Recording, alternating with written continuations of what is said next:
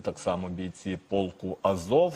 Е, Якщо говорити, повертатись до сьогоднішньої дати, так то от своє звернення бійці Азову записали на острові Хортиця в Запоріжжі і нагадали, що Росія століттями намагалася знищити Україну. Ну і цього їй не вдалося зробити.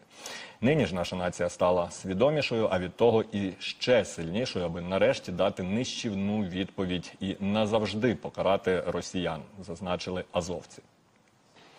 Ми обов'язково переможемо. Це кажуть воїни того самого полку Азов, які вирвалися з пекла Азовсталі, де нас хотіли знищити. Кроваво і підло. Але з цього попелу відродився сталевий дух. Тепер Азов у кожному з нас. Азов це вся Україна. Одна, єдина і соборна. З Днем Незалежності!